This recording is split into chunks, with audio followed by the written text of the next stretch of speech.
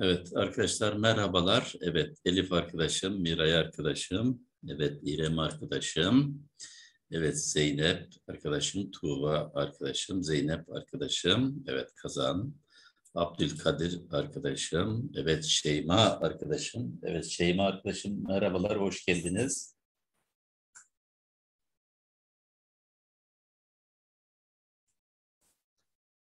Evet, Eda Durmuş, evet.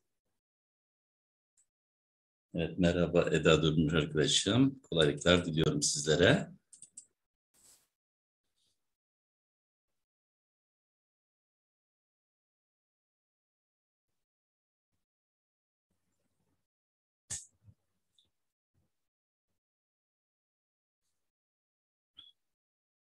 Evet. Şimdi arkadaşlar konumuz maden iş yerlerinde iş sağlığı ve güvenliği. Ee, yer kürenin e, değişik fiziksel ve kimyasal özelliklerdeki kayaçlarla oluştuğunu biliyoruz ve bu kayaçların bir kısmı insanlığın dikkatini çekmiştir ve yer küreden bunu almak istemişlerdir kullanmaları veya de, e, değişik maksatlarla. Evet işte insanlığın ilgilendiği, insanlığın ilgilendiği bu kayaçlara biz maden diyoruz. Diğer e, e, kayaçlara ise yan kayaç diyoruz. Bu madeni e, yer küreden alırken yan kayaçları da yerinden al oynatmamız gerekiyor. Dolayısıyla bir madencilik faaliyetine ihtiyaç duyuluyor arkadaşlar. E, eğer bu madeni alma, işimize yarayan bu madeni alma bize yeryüzünde gökyüzü koşullarına denk geliyorsa çok mutlu hissediyoruz kendimizi. E, bunu yerüstü madenciliğiyle alıyoruz. E, ama derine dalıyorsa, onlara ulaşma şansı bulamıyorsak yer, üstü madenciliğiyle o zaman da yerin altında madenin olduğu yere iniyoruz. Bulundukları yerden e, onları alarak e, kullanmak istiyoruz. Bunu da e, yeraltı madenciliğiyle yapıyoruz arkadaşlar. Fakat yeraltı madenciliğinin de belli bir derinliğe kadar e, e, teknik olarak mümkünlüğü var.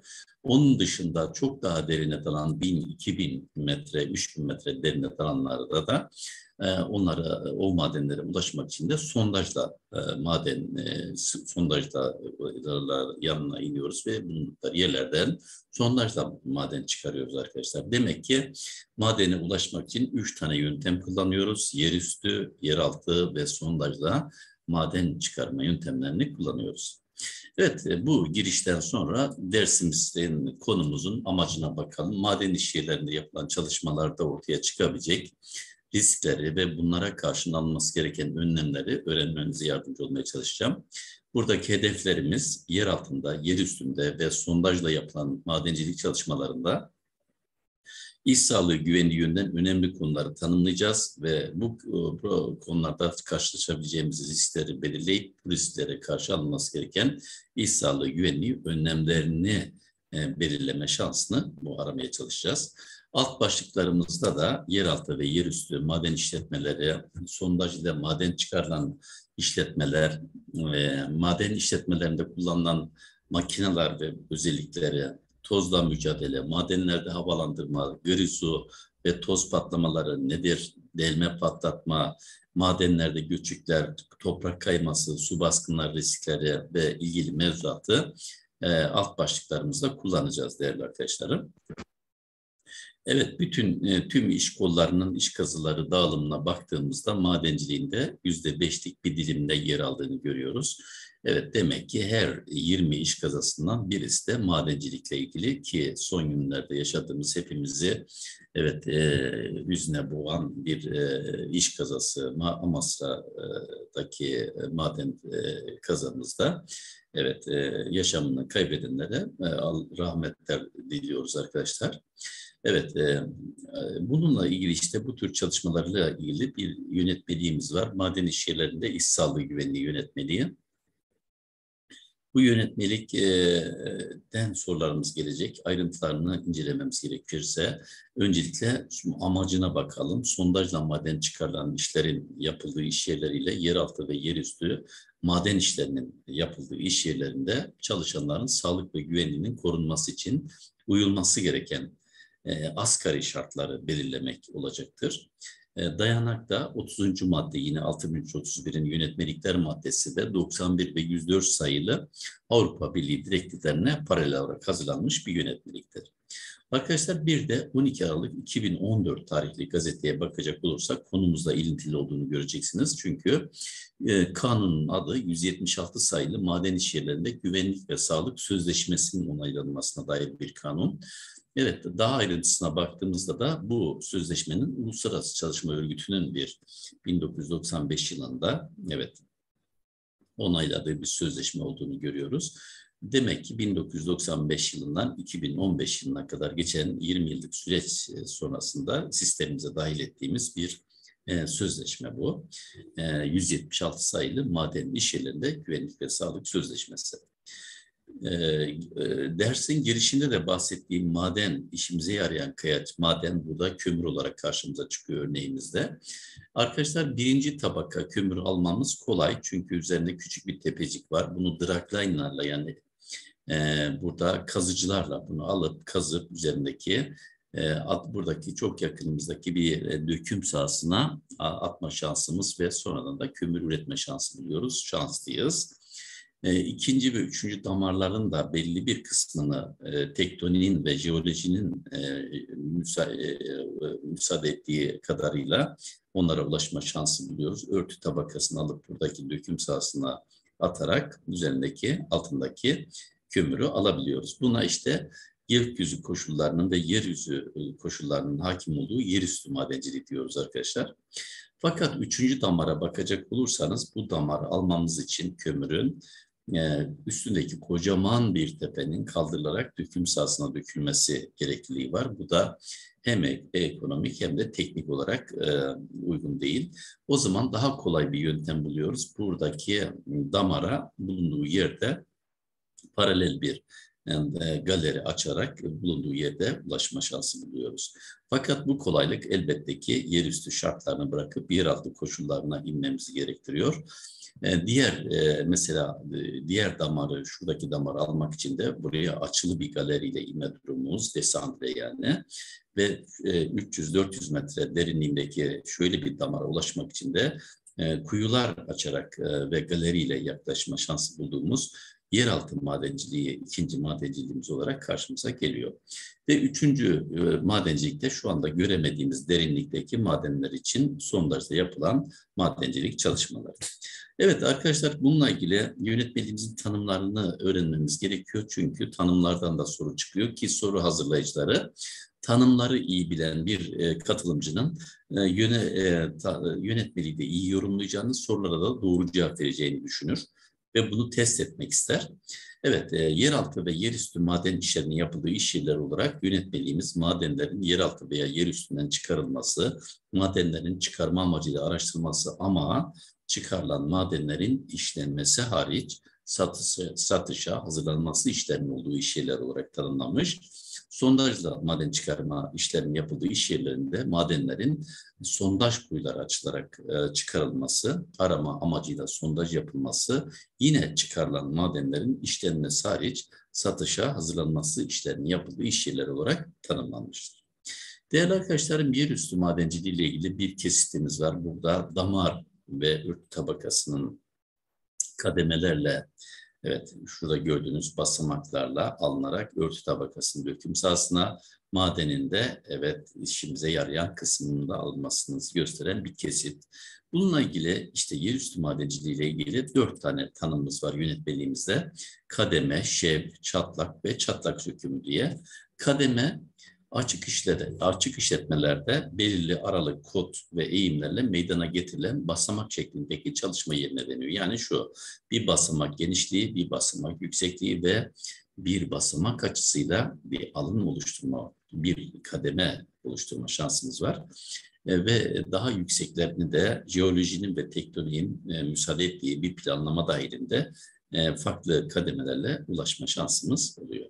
İşte kademe böyle tanımladıktan sonra şevi kademe alın ve düz e, yüzeylerdeki eğime deniyoruz. Elimin dış yüzeyini e, kazı yüzeyi olarak düşünecek olursanız bu kazı yüzeyinin yatayla yaptığı şu açıya arkadaşlar evet buna şev diyoruz.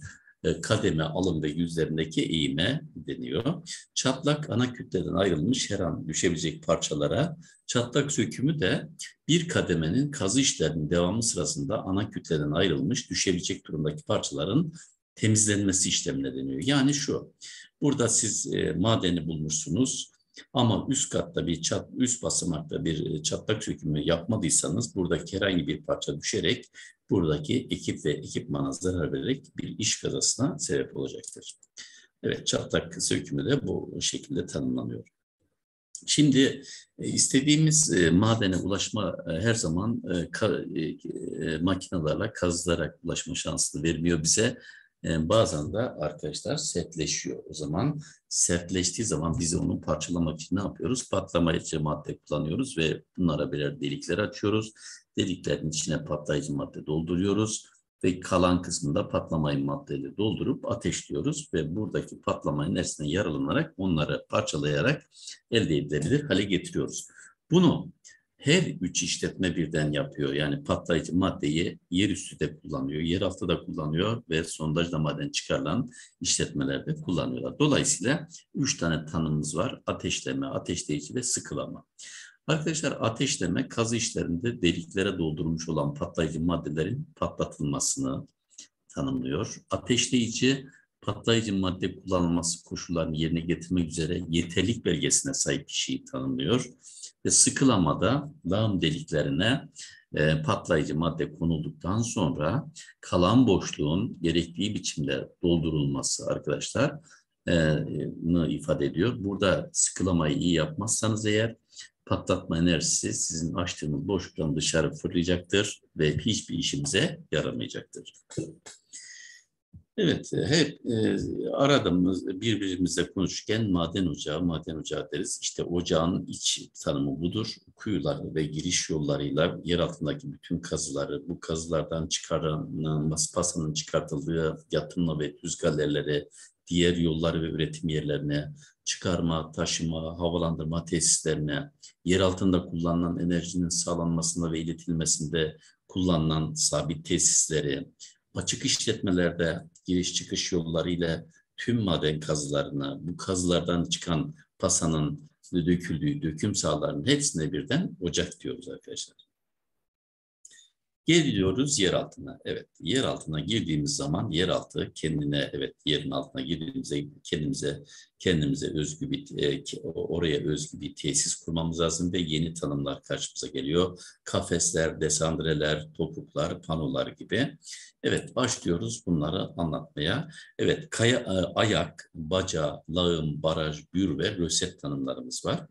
Ayak arkadaşlar, evet, ayağı maden içerisinde iki galeri arasında cephe halinde üretim yapılan yere deniyor. Yani benim bu defterimi maden e, kömür olarak düşünün. Bir galeri buradan açıyorum, bir galeri buradan açıyorum. Sonra burayı pasta dilimi gibi kese kese alıyorum. İşte buna ayak diyoruz arkadaşlar. Baca maden içerisinden sürülen galeriyi, lağım ise taş içerisinde sürülen galeriyi tanımlıyor. Ee, baraj yeraltı kendine özgü tehlikelerle dolu. Yer altında işte yangın, su, zararlı gaz ve diğer tehlikeleri önleyici tedbirlere baraj diyoruz. Onları önleyici tedbirlere.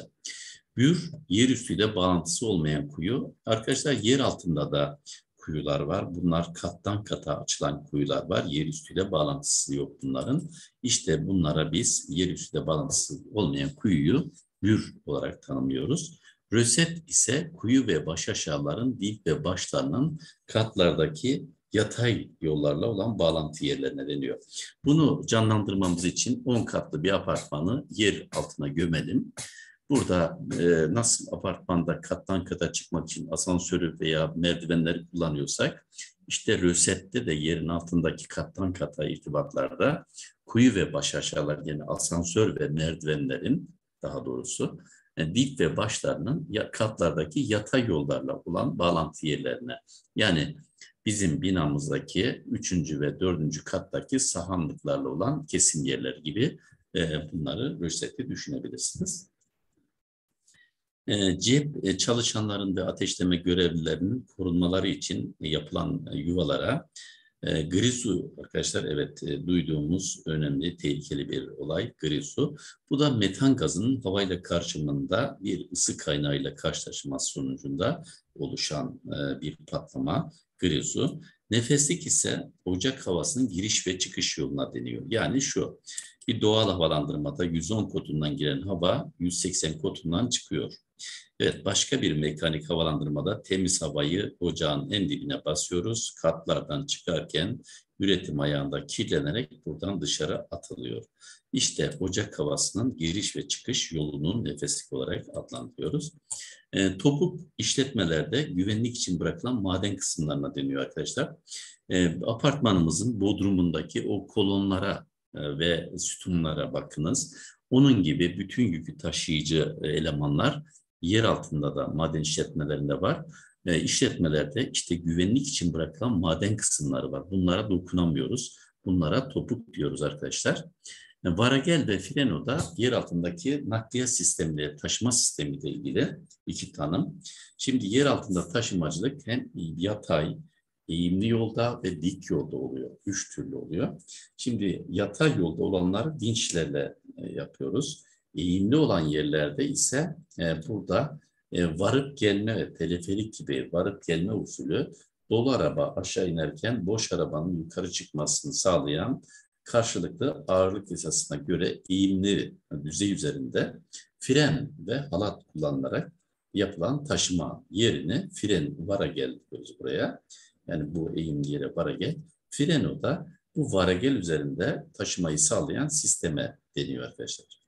Evet tanımlarımızı burada bitiriyoruz. Şimdi sıra geliyor işletmenin yönetimiyle ilgili e, hazırlanacak veya uygulanma, uygulanması gereken dokümanlar listemize. Bu dokümanların birincisi sağlık ve güvenlik dokümanının ve diğerlerine sonra yeri geldiğinde söyleyeceğim ama ilk dokümanımız genel yükümlülükler, işverenin genel yükümlülüklerine karşımıza geliyor ikinci bölümde. Burada işverenlerin iş yerlerine e, güvenli teçhiz etmelerini, inşa etmeleri isteniliyor ve iş yerinde yapacak her türlü çalışmanın yetkili kişinin nezaretinde ve sorumluluğu altında yapılması istenilmektedir. Yükümlülük olarak çalış işverenin yükümlülüklerinde.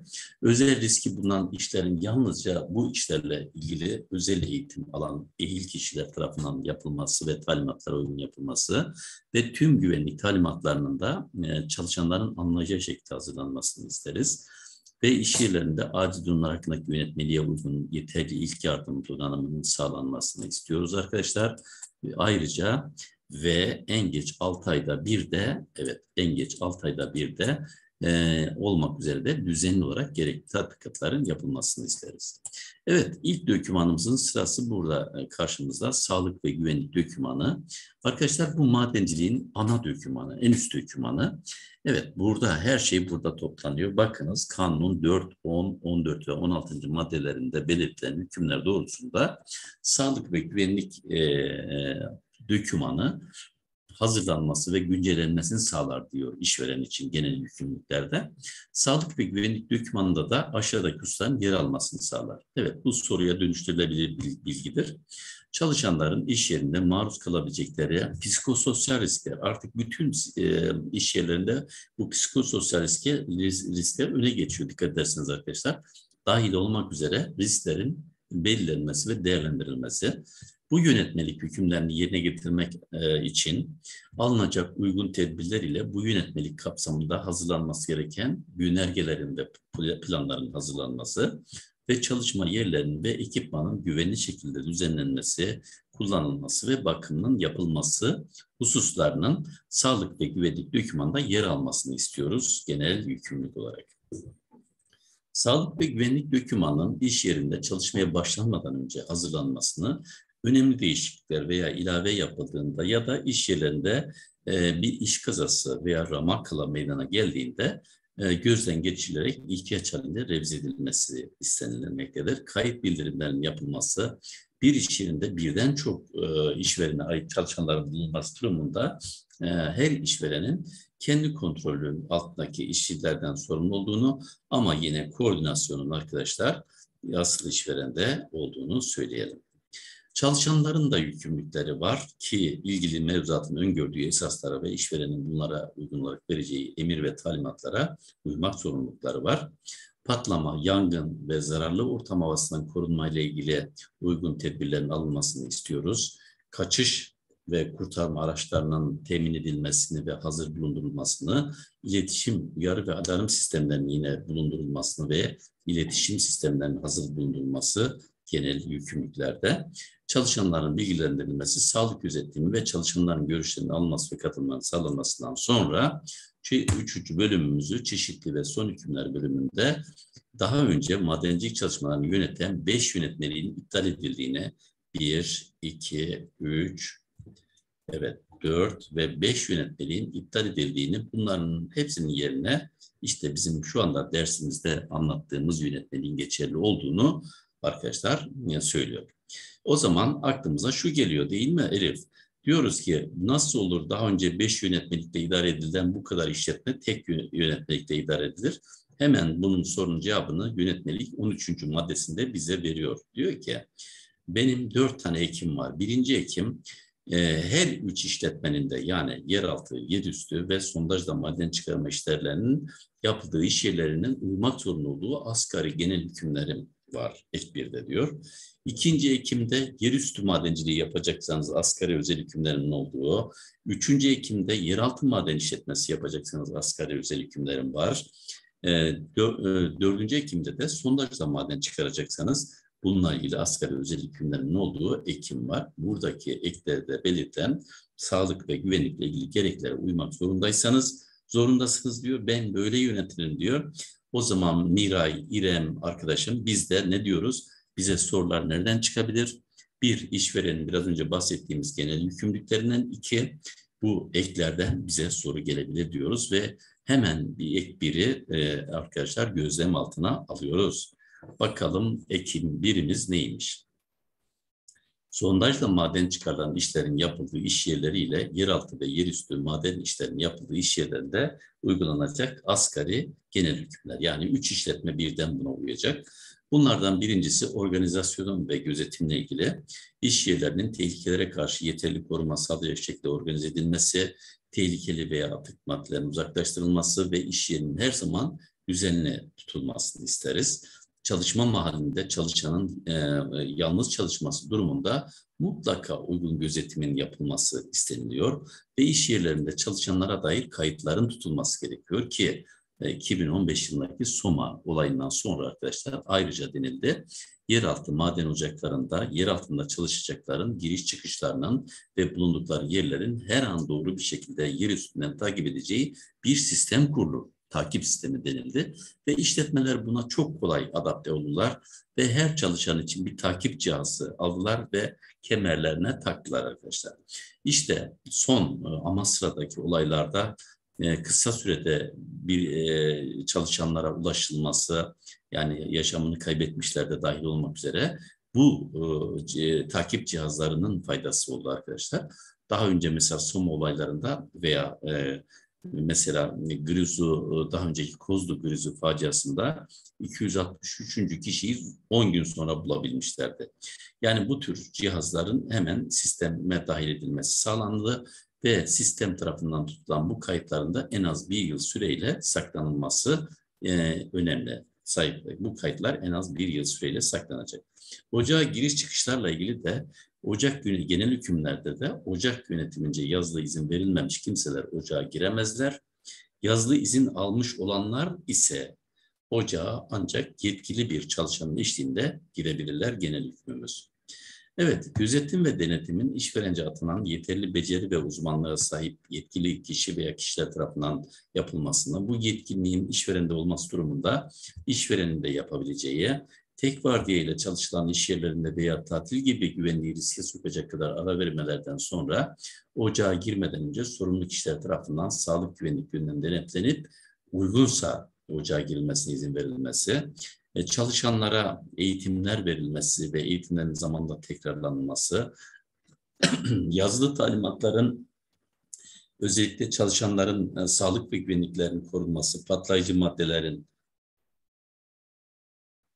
taşınması, depo edilmesi, iş ekipmanlarının kullanılması gibi hususlarda e, yazılı tazminatların hazırlanması, güvenli çalışma yöntemlerinin seçilmesi, ocakların girilmesi yasaklanan kısımların uyarı levhalarıyla belirtilmesi, Muhtemel istenmeyen bir durumda ise kolayca e, çalışanların tek başına çalıştırılamaz olduğu.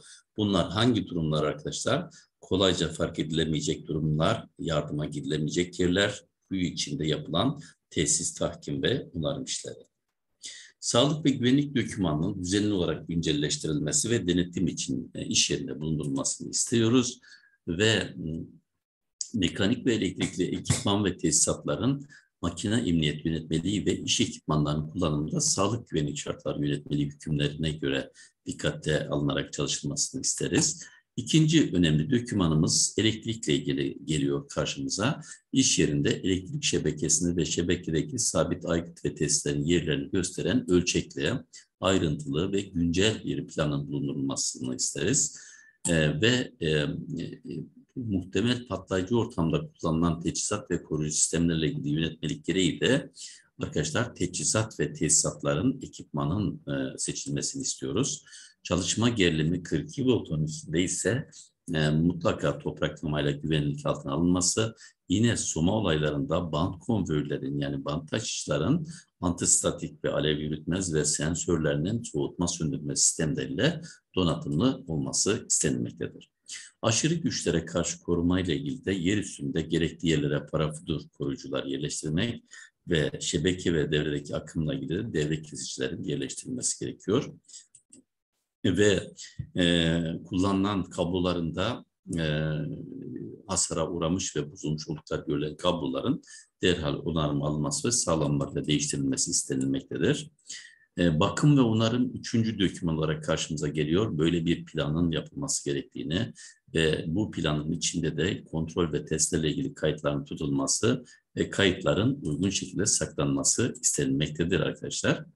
Evet, e, kuyuların kontrolü yine yeraltı sürprizleriyle ilgili. Evet, sondaj kuyusu açılması işlemler sırasında kullanılmak üzere de püskürme ve yer altında bulunan zehirli ve patlayıcı gazların yayılması gibi risklerden korunmak için uygun kontrol ekipmanının e, bulundurulmasını istiyoruz. Özellikle petrol, doğalgaz, jeotermal ve kaya gazı sondajlarında mutlaka kuyu kontrol donanımlarının bulunulması zorunlu. Beşinci bölüme geliyoruz. Patlama riski, yangın tehlikesi ve zararlı ortam havasından karşı korunma ile ilgili üç dokümanımız daha geliyor. Bunlardan birincisi özellikle e, patlamayı önleme planı ve bunların içinde tutuşturucu elemandan olmaması özelliklerini söyleyen, ondan sonra zararlı ortam havasından korunmakla ilgili bir koruma planı, yeterli sayıda uygun solunum ve canlandırma ekipmanlarının bulundurulması isteniyor kişisel koruyucu donanımların iş yerinde e, kullanılması hakkındaki yönetmelik gereği. Yangından korunma planı da çalışılan yerlerde bulundurulması istenmektedir. Arkadaşlar kendiliğinden yanmaya elverişli madenler varsa buralarda bekleme barajları dahil olmak üzere gerekli tedbirlerin alınmasını istiyoruz. Yangın veya sızdırmazlık bekleme barajları da üretimi biten panolarda kurulmasını, ocağın ana hava giriş ve çıkışında bir yangın tehlikesine karşı da ocağın giriş ve çıkışını tamamen kapatabilecek miktarda malzeme bulundurmasını istiyoruz değerli arkadaşlarım. Evet bir merhaba aralığı verelim mi? Çok hızlı mı gidiyorum diye bir araştırma yapmak istiyorum. Elif merhaba, Miray merhaba. Anlatımızında bir e, evet anlayabileceğiniz e, koptunuz mu yoksa izleyebiliyor musunuz? Elif, Miray, İrem. Harika Miray, teşekkürler. Evet arkadaşlar Zeynepler ne diyor ve Tuğbalar, Tuğba ne diyor? Arkadaşlar Zeynep, Abdülkadir, Tuğba. Evet biraz iletişim kuralım. Şeyma ne diyorsun? Biraz hızlı mı diyorsun hocam diyorsun? Evet Eda sen ne diyorsun Eda? Yücel. Gül arkadaşım. Böyle iyi hocam. Teşekkür ederim. Var olun, sağ olun Gül arkadaşım. Evet, e, evet, evet, evet. Gizem Şenke. Peki. Arkadaşlar o zaman devam edelim. evet, e, e, üretimi biten e, eski imalat ve panolarda da ise e, kalıcı bekleme barajları yapmamız lazım. Bunların hava sızdırmaz, basınca dayanıklı ve tahrip olmayacak şekilde kurulmasını ve ocak gazlar yönünde tahrip e, sürekli kontrol altında tutulması, özellikle barajların arkasında bulunan oksijen, metan, karbon monoksit, hidrojen, sülfür gibi e, ocak gazları ile sıcaklık ölçümlerinin 10 günde bir yapılarak kayıt altında tutulması ve bu barajların da yer altında çalışma planlarına yazılması gerekiyor, işlenmesi gerekiyor. Evet, altıncı bölüm yine genel hükümlerde patlayıcı maddeler ve ateşleyicilerle ilgili patlayıcı maddelerin ve ateşleyici malzemelerin depolanması, taşınması, kullanılması sadece 2016 yılında yapılan değişiklikte arkadaşlar ateşleyiciler tarafından yapılır. Ve e, patlayıcı maddelerin ateşleyicilerden başkasına e, almasına ve ateşlemesine izin verilemeyeceği ve yer altında bir patlayıcı madde deposu kurulduğunda ise bu, bu deponun bulunduğu katın ve alt üst katlarının e, güvenli e, çalışmalarına engel olmayacağını, 50 kilogramdan az patlayıcı madde bulunan depolara ana yoldan 90 derecelik bir dirsekle, daha çok patlayıcı madde bulunan depolara ana yoldan ki e, 90 derecelik dirsekle girilmesi, bir patlama olasılığına karşı e, dirseklerden en az 3 metre derinliğinde hız kesici ceplerin kullanılması ve önemli bir genel hüküm yeraltı depolarında sıcaklığın 8 dereceden aşağı 30 dereceden yukarı olmamasının sağlanması. Ve arkadaşlar kapsüllerle diğer patlayıcı maddelerin aynı kap içinde bulundurulamaz ve taşınamaz. Ateşleyici, manyeto ve sandıkların anahtarlarını kendi üzerlerinde bulundurur. Bir kişinin taşıyabileceği patlayıcı madde miktarı da 10 kilogramı geçemez arkadaşlar. Ee, şimdi e, patlatmayı bizzat ateşleyici yapar, ateşlemeyi yapar e, ve patlağım atılacak yeri de en son ateşleyici terk eder arkadaşlar. Dağım atıldıktan sonra yani patlatma yapıldıktan sonra elektrikli ateşlemelerde en az 5 dakika geçmeden fitil veya benzeri ateşlemelerde de 1 saat geçmeden ateşleme alanına girmesine kimse izin bir girmesine izin verilmez gibi yasakların veya yaptırımların olduğu bir yönerge geliyor. Patlayıcı maddelere ilişkin yönerge. Arkadaşlar yönergelerden beş tane var bu yönetmelikte. Birinci yönerge e, patlayıcı maddelerle ilgili çünkü üç işletme birden bu yönergeyi kullanacak. Evet, patlayıcı maddeler için yönergenin ayrıntılarını kapsayan bir yönerge hazırlanması istenerek içeriğinin şu olmasını söylen, sor, sor, istenmektedir. Patlayıcı madde depolarının yerini gösteren planlar, ateşleyiciler ile patlayıcı madde depolarına girmeye yetkili çalışanların listesi, patlayıcıları nem, bozulma ve donmaya karşı korumak için alınacak tedbirler, patlayıcı madde tüketim planları, tecrit tedbirleri yani patlatılanla patlatılan birbirinden ayırma, havalandırma, patlama ve yangına karşı alınacak tedbirler, yangın halinde gaz ve dumanların nasıl boşaltılacağı, patlayıcı maddelerin taşınmasına dair kurallarla ilgili hususların yer aldığı bir yönerge, ayrıntılar kapsayan bir yönerge, patlayıcı maddelere ilişkin yönerge birinci yönergemizdir. Evet, ÖSYMC A, B, C, Ç şıkkı mesela seçilerek e, başka bir de yönergelerin bir madde kullanarak şunlardan hangisinin bu e, patlayıcı maddelere ilişkin yönergenin ayrıntılarından olmadığı ile ilgili bir soru rahatlıkla hazırlanabilir arkadaşlar. Bu beş yönergeden bekliyorum bunu. Kimyasal ve radyoaktif maddelerle ilgili ilgili yönetmelik hükümlerine göre ulaşım yollarının kullanıcı sayısı ve iş yerinde yapılan işin özelliğine uygun boyutlarda olmasının sağlanması ve taşıma ile ilgili hususlarda da kurtarma işleri gibi özel durumlar hariç olmak üzere çalışanlar sadece insan taşımak için imal edilmiş araçlarla taşınır denilmektedir. Ve ocakta kullanılan tüm mobil ekipmanlar görünürlüğü ve hareket yönünün ayrılabilmesi için e, gerekli işaret lambalarla donatılır. Lokomotiflerin önünde beyaz veya sarı ve son arabanın arkasında da kolay görülür bir kırmızı işaret lambasının bulundurulması esastır.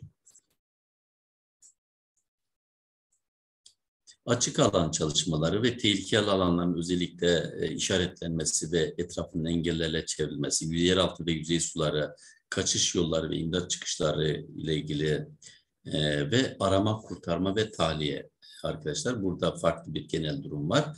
Çünkü acil durumlar hakkındaki yönetmelik kapsamında görevlendirilecek destek elemanı sayısının ondan az olduğu ocaklar vardır. Bu ocaklarda en az 10 çalışanın konuyla eğitim almasını isteyeceğiz. Evet. Ve e, çalışan sayısının ondan az olduğu durumlar vardır. Bu eğitiminde o zaman her çalışanın almasını sağlayacağız. E, bu maden iş yerleri e, arkadaşlar ondan az çalışanın olduğu işler yerler neredeyse yüzde altmışı öyledir. Dolayısıyla bu eğitimin de her 6 ayda bir tekrarlanmasını istiyoruz. Hangi eğitim? E, hangi eğitim? Arama, kurtarma ve tahliye eğitimi. Ee, arkadaşlar yeraltı ve yerüstü maden işyerlerinde arama, kurtarma ve tahliye ekiplerinin hızlı ve etkili bir şekilde müdahale edebilmesi için uygun bir kurtarma istasyonunun kurulması istenildi işletmelerden. Bu birazcık zor geldi işletmelere. Onun için kolaylaştırmak amacıyla denildi ki ancak yarı çapı en çok e, 2015 yılında en çok 50 kilometre olan alan içinde bulunan maden işyerleri merkezi bir yerde ortaklaşa bir kurtarma istasyonu kurabilirler denildi. 2017 yılında ise yerüstü maden iş yerlerinde kurtarma istasyonunun kurulup kurulmayacağına acil durum ve iş yerinin özellikleri e, belirleyeceğini ve bunun da sağlık güvenlik dokümanında belirtilmesi gerektiği söylenildi.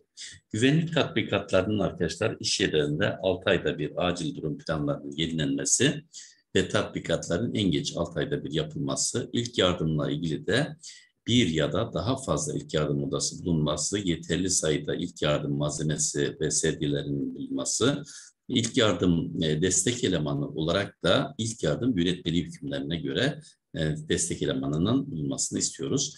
Doğal e, e, suni aydınlatma, e, gürültü, titreşim ve tozlarla ilgili ilgili yönetmelik hükümleri, hafriyat dökme yerleri, atık sahaları ve çöktürme havuzlarının sağlam ve dayanıklı olması, e, sıhhi tesisatlar yine genel hükümlerin içinde soyunma yerleri, elbise dolapları, duşlar, lavabolar, yer üstünü maden yardımcı testlerine ilişkin özel hükümlerin olduğu bölümler ve penceresi, kapılar ve girişler derken burada bitiriyorum arkadaşlar ekleri.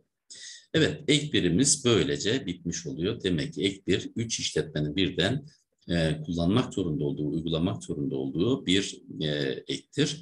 Bununla ilgili hemen sıcağı sıcağına bir sorum olursa bakalım arkadaşlarımız bu soruya nasıl cevap verirler?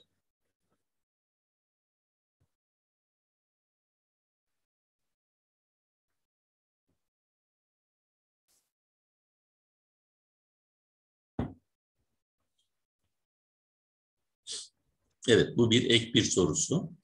Yani üç işletmenin birden uymak zorunda olduğu patlayıcı maddelere ilişkin bir soru.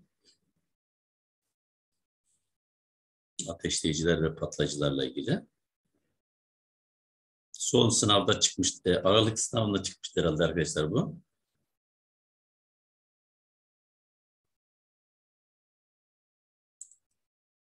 Harika. Miray Özdalga Kıran, pardon Özdal Kıran Miray aferin. Nereden bildin Miray? Aferin. Hata nerede Miray? Miray sese gelebilir misin? Nerede hatayı buldun? Doğru cevabı Miray buldu arkadaşlar. Evet bravo Miray. Neresi hatalı? Niye yanlış buldun orayı? Söyleyebilir misin? Yazabilir misin? Yazabilirim diyor. Kendi üzerinde bulundurur. Kutluyoruz Miray arkadaşlar. Aferin Miray. Evet diğer arkadaşlarımı da kutluyorum. Arkadaşlar burada B şıkkı doğru. Diğerlerinin hepsi iki slaytımıza sıkışmış vaziyette bir sorudur. Evet birazcık da biz şuradan e, kendimize bir pay çıkarmaya çalışalım. Bakınız arkadaşlar soruda 50 kilogram, e, 3 metre, 8 ile 30 derece ve e, Miray'ın biraz önce bulduğu bulundurur, orada bulundurmaz yazıyordu ve 10 kilogramla içeren iki slaytımızdan bir soru hazırlanmış. Evet hocamız da burada evet mutlu olduğunu bilin arkadaşlar. Böyle bir soruya e, cevabınızın da e, sizler tarafından bilinmesi bizi mutlu etmiştir. Şimdi gelelim. E, evet gelelim arkadaşlar. Ek 2'ye. Evet, ek 2 yerüstü maden işlerinin yapıldığı iş yerlerinde uygulanacak asgari özel hükümlerle ilgili. Yani burada birinci özel hükmümüz işletme ile ilgili. İş yerinde yapılacak çalışmalar, sağlık ve güvenlik dokümanında görüyor musunuz? Her yerde sağlık ve güvenlik dokümanı üst planda arkadaşlar. E, dokümanda belirtilen toprak kayması veya çökmesi riskiyle ilgili hususlar dikkate alınarak planlanır. Kazı yüzeyleri ve şevlerin eğimi ve yüksekliği zeminin yapısına ve sağlamlığına ve uygulanan çalışma yöntemlerine uygun olur denilir. Arkadaşlar bu slaytımızda Afşin Elbistan'da evet toprak kayması e, ve e, çökmesi nedeniyle toprak altında kalan iş güveni uzmanı ve arkadaşları evet 2010 yılında e, çıkarılamadılar, orada kaldılar. Evet iş yerleri bu yerüstü maden işleri de bu toprak kayması ve çökmesi çok önemli. Kazı yüzeyleri ve şevlerin eğimi ve yüksekliğini hesaplamak çok önemli arkadaşlar. Evet onları rahmetlerle analım. Evet, Allah sabırlar versin diyelim yakınlarına. Evet, değerli arkadaşlarım, şimdi e, gördüğünüz gibi dekapaj e, yapılmış hafriyat sahası. Kademe alınları, kademe çalışması, yüksekliğini görebiliyorsunuz. Bir kademe evet de e, ekskavatörle kazılıp e, kamyonlarla taşınan bir çalışma ve başka bir açık işletme görüntüsünde de kademelerle evet gördüğünüz gibi eski Doğan'ın şurada doğanın devamını düşünecek olursanız bu kadarlık bir kısmın altındaki evet bütün çalışmaların e, kademelerle evet bu hale getirildiğini görüyorsunuz. Tabii ki böyle bir başarılı çalışma elbette ki bir sürü riskleri yenmeyle ilgili arkadaşlar. İşte bu riskler şunlar. Yüksekten düşme, düşen cisimlerin çarpması sonucu yaralanma, kazı sırasında yaralanma, elektrik şokuna kapılma, patlamalar, yangınlar, iş makinesinin sebep olduğu kazılar, trafik kazaları, iş sahalarındaki ulaşım kazaları, cisimlerin sıkıştırması, ezmesi, batması ve kesmesi, uygun olmayan iş sahası zemine, çukur, derin bir zemine düşme, su havuzuna düşme ve suda boğulma. Özellikle yerleşim bölgeleri yakındaki işletmeler için büyük risk oluşturuyor bu. Kömürün kendi kendine yanması ve zararlı gaz oluşumları, ağır yüklerin taşınması ve istiflenmesi, hafriyat işleri, kaza aynasının ve döküm alanının heyelan yapması, ağır malzeme kaldırılması sonucu kas ve iskelet rahatsızlıkları, normal sınırlar dışındaki gürültü, titreşim ve ısı maruziyetleri arkadaşlar. Evet, yıldırım düşmesi, akrep, böcek ve yılan sokması ve benzeri e, açık işletme risklerini yenerek o tablo elde edilmiştir. Tabii ki burada bakanlığımızın bir e, şey pardon yönetmeliğimizin bize de bir yönerge hazırlama talimatı var. İşte beş yönergenin ikincisi açık işletmeleri için bir yönerge. Bu kazıcı ve doldurucu makinelerin çalıştırıldığı veya derin lağım deliklerinin uygulandığı iş yerlerinde ilgili mevzuat hükümlerinin de ayrıntılarının gözünde tutulduğu ve aşağıdaki ayrıntılar kapsayan bir yönerge hazırlanır. Bu yönergelerde neler var? Kademelere verilecek en çok yükseklik var. Güvenle çalışma imkan verecek kademe düzlüğü var. Çalışılan yerin özelliğine, jeolojik, tektonik yapısına ve fiziksel özelliğine göre kademelere verilmesi gereken şev derecesi var arkadaşlar. Kalemmi lağım deliği olarak düşünecek olursanız lağım atılacak yerin özelliğine göre lağım derinliği, evet ne kadar derine inecek. Lağım aralıkları, lağım deliğiyle yani kademe yüzünün bir arasındaki uzaklık ve buna göre konulması gereken patlayıcı madde miktarı, ateşleme sırasında çalışanların ve makinelerin güvenlikleri için alınması gereken tedbirler, Evet, makinaların çalışma koşulları, manevra yerleri, yükleme, taşıma, boşaltma işlerinde uygulanacak güvenlik tedbirleri, çalışma yerlerine, görevlilerden başkalarının girmesine karşı tedbirler, patlayıcı maddelerin depolanması, kullanacakları yere güvenli biçimde taşınmaları ve kullanmalarına ilişkin tedbirler gibi hususların yer aldığı bir yönerge hazırlanır ve bu yönergeden de yine A, B, C şıkları tercih edilerek başka bir yönergenin maddesinden onun seçilmesi istenebilir. Evet, gördüğünüz gibi e, burada bir açık işletme var, burada ekip var, evet e, iş makineleri, ekipmanlar var. Ve e, kayaç ve yan kayaçlar ve madenlerin olduğu bir görsel. Burada her çalışma öncesinde bir kere çalışma mahallinden ve nakliyat yollarından daha üst seviyelerdeki şevlerde ve kazı yüzeylerinde toprak ve kaya düşmelerine karşı gerekli kontrollerin yapılması istenilmektedir ve çalışma yapılan her kademeye ait de en az bir adet çalışma yolu olması. Yani şunu söylemek istiyorum. Şurada her kademeye ait bir çalışma yolu olacak ki birbirine bağlantısı olsun arkadaşlar. Ee, ve e, döküm sahası, kademe gibi iş makinelerinin düşme tehlikesi olan yerlerde ise yeterli yükseklikte güvenlik bariyerlerinin bulunması gerekiyor ki arabalar düşmesin. Ee, kazı yapılan ve lağım atılan kademe cepheleri, şantiyeler, e, çalışanların geçtiği bunlara yakın yollar, taşıma yolları, kütle ve blok kayması ve parça düşmesi olasılığı yönünden sürekli olarak denetlenir. Varsa tehlike giderilmeden bu işte görevlendirilen çalışanlardan başkalarının buralara da çalıştırılmaması sağlanır. Yıldırım düşme tehlikesi varsa da elektrikli kapsülle ateşleme yapılan açık ocaklarda yıldırım enerjisiyle kapsülün patlayacağı korkusu nedeniyle arkadaşlar evet e, tehlikeli e, lağım delikleri gerekli tedbirler almadan doldurulmaz ve tehlike e, lağımın doldurulması sırasında meydana gelmişse de doldurma işlemi derhal durdurulup patlamanın olağan etki alanı dışına çıkılır ve tehlike geçinceye kadar da bu alana kimsenin girmesine girmemesi için gerekli tedbirler alınır. Ateşlemelerden e, ve donmaları izleyen arazi gevşemesi, kar, yağmur ve benzeri doğal olaylardan sonra yeniden işe başlamalarda kademe cepheleri ve çevresi bu işe ayrılmış deneyimli kişiler tarafından çatlak sökümü yapılarak temizlenir. İşte bir çatlak sökümü yapılıp burada relax vaziyette duran bir arkadaşımızı görüyoruz. Evet 15 dakikalık aradan sonra devam etmek üzere diyoruz. Haydi bakalım arkadaşlar iyi istirahatler.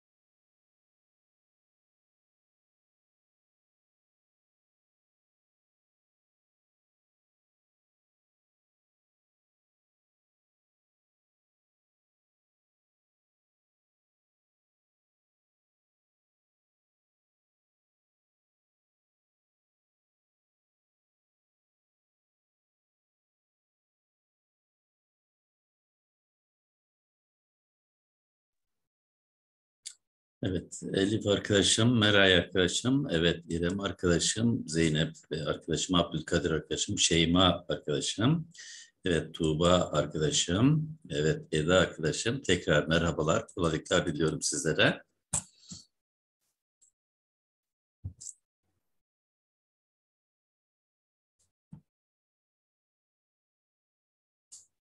Evet. Şimdi arkadaşlar ek 2'de kalmıştık ve orada bir e, çatlak söküm yapılması gerektiğini söylemiştik ve bunu söyledikten sonra e, kazı ya da lağımlarla oyularak kademe alımlarının askıya alınması e, e, suretiyle çalışmak da yasaktır. Bu ne demektir? Ters ıskarpa. Şimdi e, madeni burada görüyoruz. Kırmızı maden olsun. E, normalde elimin üstünü kaldırıp madeni öyle almamız lazım yani normal çalışmalarda ama tutup burayı kazı ve lahamlarla oyarak sadece kalemi alırsam o zaman kademe alınıp böyle oyulur. Ters ıskarp olur. Böyle çalışmak yasaktır. Şimdi e, açık ocaklarda elle kazı ve yükleme yapılan ocaklar da var. E, bunlarda kademe yüksekliği 3 metreyi geçemez. Yani bu yüksek 3 metreyi geçemez. E, bu ocaklarda şev açısı ise sağlam arazide 60 dereceyi geçemiyor. Ee, çöküntülü ve ezik arazide 45 dereceyi ve kaygan ve sulu yerlerde de 30 dereceyi geçemez arkadaşlar. Maden işletmelerinde kullanılan makineler ve özellikleri denizce de gördüğünüz gibi devasa makinelerimiz var veya e, madeni veya cürufu veya dekabaşı taşıyan, döküm sahasına taşıyan kamyonlarımız var. Evet, tabii ki biz maden işletmeciliği denince maden işletmeciliğinde kullanılan makineler denilince aklımıza yerüstü ve yeraltı dekapaj, ilerleme veya madenin kazılarak üretilmesi için işin amacına göre üzerine çeşitli ekipmanlar monte edilmiş. Karayolunda insan yük hayvan taşınmasında kullanılmayan motorlu araçlar ile tüm maden işletmeciliği safhasında kullanılan makineler gelmelidir. Bunlar delme makineleri, vagon driller gibi kazma ve yükleme makineleri, ekskavatörler gibi, kaldırma makineleri, vinç, forklift gibi, kazıma, taşıma, serme makineleri, dozer, graderler gibi, yol dışı nakliyat makineleri, nakliye makineleri, kaya, maden, cüruf, kamyonlar gibi, blok e, kesme, yontma, sıkıştırma makineleri gibi. E, maden makinelerinin seçiminde üretilen madenin bulunduğu arazi konumu, madenin ve yan kayaçlarının sert ya da gevşek yapıda olması ve üretilecek madenin boyutları gibi pek çok faktör etkili olmaktadır. E, ayrıca yer üstünde engebeli ve ağır arazi şartlarında veya yer altında kullanılmaları nedeniyle iş kazıları riski yüksek makinelerdir. Mal ve insan kayıpları pek e, çok olumsuzluklar yaşanabilmektedir gibi yapılması gereken madene ve bulunduğu jeolojik yapıya uyan e, işin özelliği için doğru seçilmiş bakım ve onarımları ve periyodik e, kontrolleri takip edilen bilinçli, işin ehli bir e, operatörün kullanılması sağlanmalıdır. E, tüm iş makinelerde olduğu gibi maden makinelerinde de ehliyetsiz eleman çalıştırılmamalıdır. Bu bir yasal zorunluluktur arkadaşlar. İş güvenliği uzmanları özellikle e, iş mak maden makinesinin periyodik ve kontrolünü yapıldığından ve e, mesleki yeterlik belgesi uygun bir iş operatör tarafından kullanıldığını bilmek zorundadır. E, bunu tespit etmek zorundadır. Şimdi ek 3'e geçiyoruz. Ek 3 yeraltı maden işlerinin yapıldığı iş yerlerinde uygulanacak asgari özel hükümlerle ilgiliydi. E, yeraltı çalışma birinci özel hükmümüz yeraltı çalışma planları yani imalat haritasıyla ilgili. Yeraltı çalışmalarını açıkça gösterecek şekilde üç boyutlu bir yeraltı çalışma planı hazırlanır. Yollar, üretim alanları ile çalışmayı ve güvenliği etkileyebileceği bekleyen beklenen diğer özellikler bu planın üzerinde gösterilir ve planlar kolayca ulaşılabilir şekilde muhafaza edilir arkadaşlar. Planlar sağlık ve güvenlik yönünden gerekli olduğu sürece saklanır ve ayrıca bu plan ölçekli olarak elektronik ortamda üç boyut olarak hazırlanır. Evet, bir yer altında galeri e, gördüğünüz gibi e, tahkimat için ve parça düşmelerini önleyici engeller, e, akışkanların hareket için borular, elektriğin akımı için kabloların, havalandırma için havalandırma borularının e, ve malzemelerin taşınması için e, vagonların e, yeraltı işletmesine özgü kişisel koruyucu donanımlar olduğu çalışanları görüyoruz. Başka bir görselimizde de aydınlatma e, şiddeti bakımından uygun olan bir yeraltı e, bir galeri işletmesini görüyorsunuz. E, burada insanın aklına şu gelir, şu aydınlatmanın çok kısa süreli bile olsa yok, kapandığını, yok olduğunu farz ederseniz yer altında sıfır karanlığı göreceksiniz demektir. Sıfır karanlığı yaşayacaksınız demektir. Bu da işin ne kadar ne kadar zor olduğunu gösteriyor. Evet işte onun için maden çalışmaları, yani yeraltı işletmeler özellikle çok e, zor ve meşakkatli işlerdir arkadaşlar. Çok tehlikeli sınıflarda bildiğiniz gibi. Yeraltı çalışma planları en geç ayda bir güncelleştirilir ve iş yerinde bulundurulur. Tüm yeraltı çalışmalarında çalışanların kolayca yani ulaşabileceği birbirinden bağımsız ve güvenli yapıda en az iki ayrı yoldan yerüstü bağlantısı bulunur. Bu yollar arasındaki toprukta 30 metreden aşağı olmaz. Bu yolların ağzı aynı çatı altında bulundurulmaz arkadaşlar. Yeraltı çalışma yerleri ve yolları ile ilgili de taşıma elle veya bir mekanik araçla yapıldığı takdirde yaya yolları galeri tabanından en az 180 santimetre yukarıda evet şöyle şurası 180 santimetre olmalı ve araçlarla galerinin yan duvarlarından birisi arasında da en az 60 santimetre mesafe kalacak şekilde bırakılması lazım. Yani şurası ile e, galerinin yan duvar arasında 60 santimetre mesafe kalacak şekilde bırakılmalıdır. Ee, şimdi yine kalemim maden olmaya devam ederse yer altında olsun bu kalemim. Evet kalemimi görüyorsunuz yer altında. Ben buna ulaşmak için ne yapacağım? Bir ekip ve ekipmanı buraya göndermem gerekiyor değil mi? İşte bu madene varışın ilk önemli işlemi nakliyat arkadaşlar. Nakliyat insan naklinin yapıldığı eğimli galerilerde eğim 18 dereceyi geçemiyor.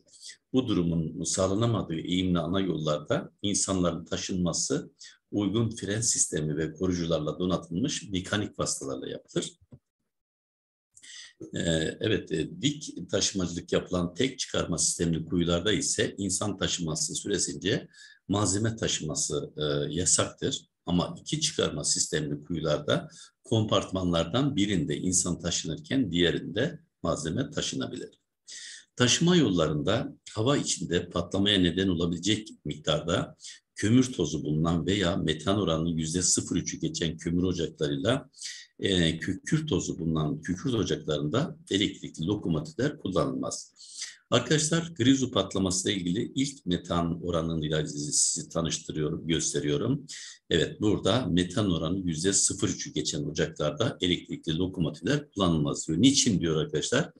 Çünkü grizu için alt patlama limiti 5, yüz patlama limiti yüzde 15 olması lazım hava karışımının içinde metan gazının.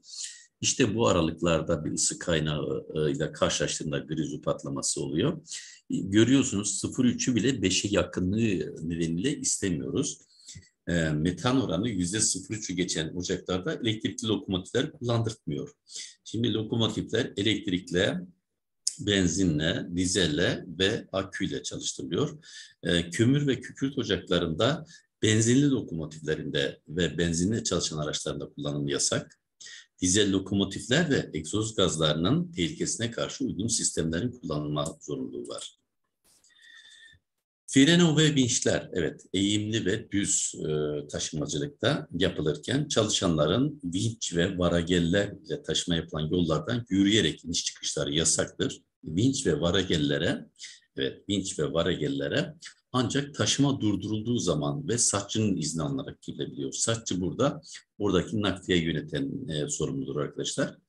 E, bunun gibi hususlarında olduğu bir ikinci, üçüncü yönergemiz geliyor. Nakliyat yönergesi.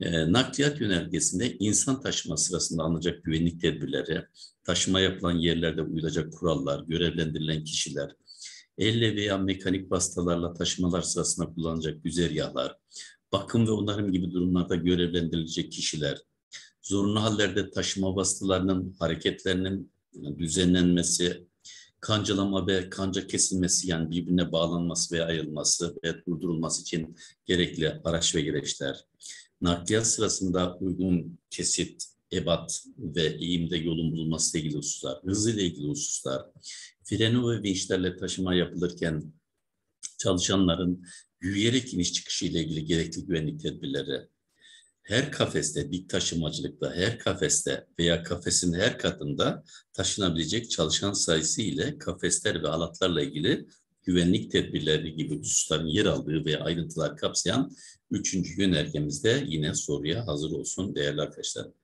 Kuyularda taşıma yani dik taşımacılıkla ilgili özel bir durum var. Çünkü halatların ve bağlama düzeninin kopması, kayması ve benzeri durumlarda kafeslerde ani düşmeleri önlemek üzere gerekli tedbirlerin alınması gerekiyor.